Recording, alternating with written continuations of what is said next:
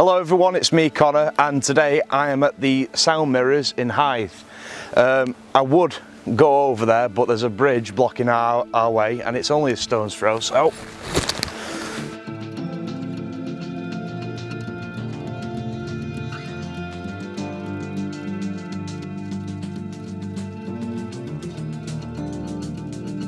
On Romney Marsh sit three large concrete structures that aided in the defence of Britain in its darkest hours. These are called acoustic mirrors. But before we get carried away, I suppose the main thing is is how do we actually get there?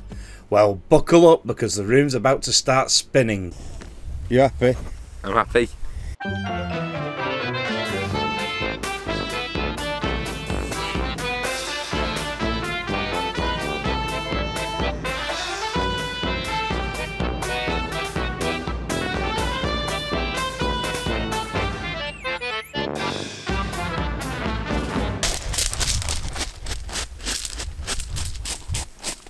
So, uh, yeah, acoustic mirrors.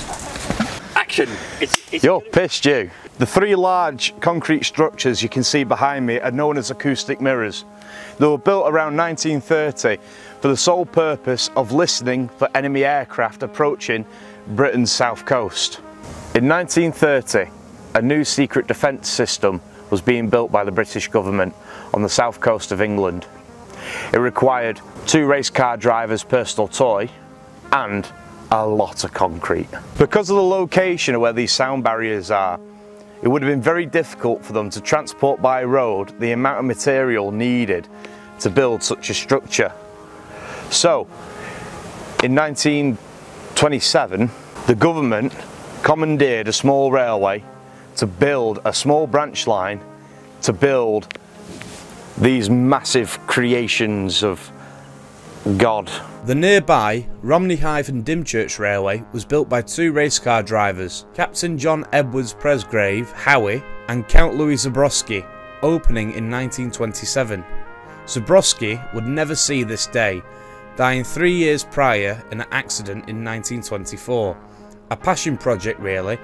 To cut a long story short, Near Romney Sands, a branch line was constructed, shooting off from the Romney Hythe and Dymchurch Railway to aid with the transport of materials to the site where the acoustic mirrors now stand. The array you see behind me could detect and pinpoint where the enemy aircraft would be coming from.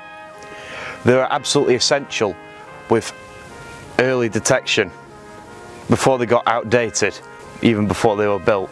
You see, when they were built in the 30s, radar systems have started to develop further. So when they were finished, they were really pretty much outdated. Although they did see some use in the Second World War and they were used to listen for and detect enemy aircraft. The enemy in question? Nazi Germany.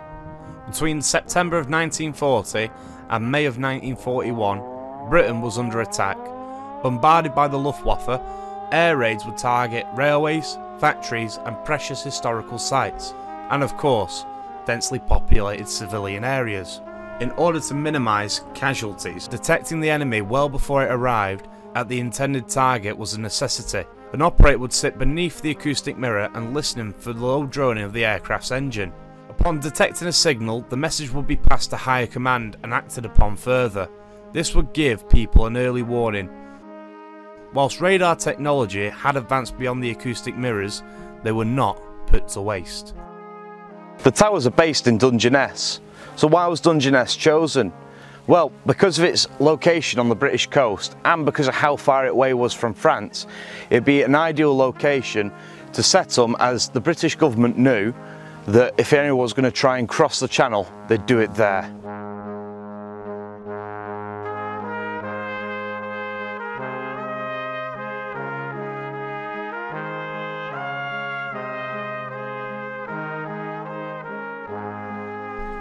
Acoustic mirrors are dotted all along England's south coast. With radar's invention, they became obsolete in 1932, before they'd even been fully constructed, and yet despite this, they served their purpose, serving as an early warning system for oncoming air raids during the Second World War, and slowly falling into history thereafter.